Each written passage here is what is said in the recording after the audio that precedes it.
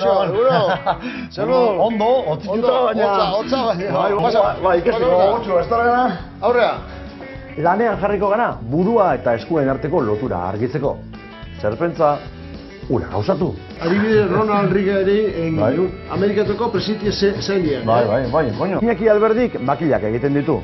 Garai batean, erabilgarriak ziren. Orain berriz, garaikur modura oparitzen dira. Jende askok eukitzen du, pues, e, bere txia, pues, salan edo horrela e, pareta batean e, jarrita, eta, bueno, horre eukitzen dute. Zuak gaur, bi errepidean.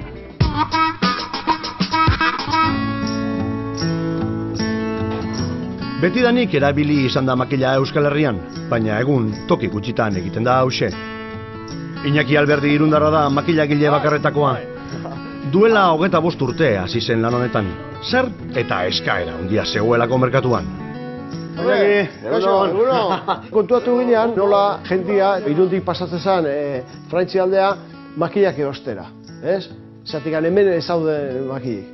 Eta orduan, bueno, bueltak eta bueltak ematen hasi ginean, eta pensatu ginen, zatik guk ez ginen e, makillak egiten, ez? Nik hola bilatu ditu dena, abe dira, zarrak eta denak e, artisau desberdinak egindakoa. Osea, oituri moduen egon da Euskal Herrien Bai, erabiltzeko. Hombre, eh, gudakiguna da, e, gutxinez bi, bi edo hiru gizaldi tartian dago otxura ma- makilena.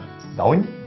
Bai, uan, uan e, bueno, iparraldian e, otxura beti izan dute, baina uan e, hemen egoaldian e, asko, ohitura asko hartzen nahi da. Hemen galdu zan, zatik guk e, hemen izan gendun gerra, gerra bat, eta gerra ondorenian errepresioa izan du zen, eta Euskaldun kutsua zituen gauza, pues, e, debekatu egin ziren.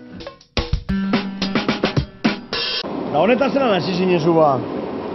Artizau e, afizioa guetxean e, guratia tallize zen. Taller hau guratia sortua Ah, da. ah. E, eskola profesionalan egin du ma, maestria, industrial eta hasi nintzen fabrika batean, hemen irune. Baina gero soldauzka bukatu ginean ja fabrika ezin gustatzen eta ja hasi nintzen atzen tallerri. Hasi ginean pixka bat, e, e, investigatzen aber nola nola egin leiken eta bueno, e, ikuste ginen gauzak, pegak eta gauzak eta suerte izan genduen e, artisau bat, makila itxezitxunak erretiratzea zijoala, ja erariakin eta ja utzi bezula.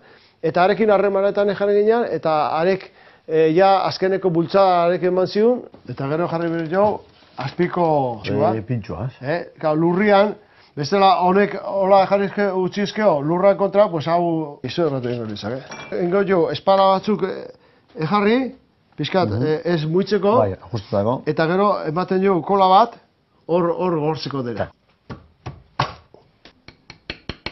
Otatzen jo, zerrantza pixka bat, eta horrela hobeto hobeto idotzen da.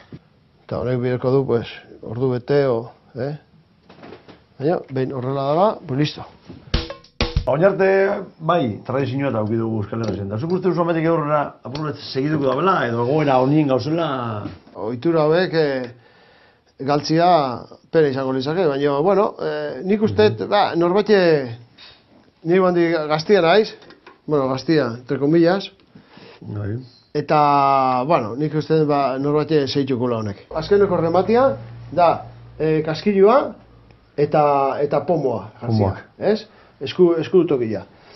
Kaskillotan eh, jartzen da, eh, bueno, egin leike personalizatu, eh, ma, makilla bat, eh, Bat, bai, ha? zure, zuretzako Bai, pues, bat edo zure izena, mensaje txiki bat, eh, Bai. jarri leike. Krisis hau pasata gero, ikusiko da, ber, de, gora juten gehan, o zeiten deun. Baina nik uste hau eh, poliki-poliki, eh, egunetik egunea, gehiago esautzen ari da, eta nik uste hau, hombre, ga- gauzak ez di izaten, egun batetik bestea izugarrizko golpiak, baina poliki-poliki nik uste dut, eh, goratzen dijoala.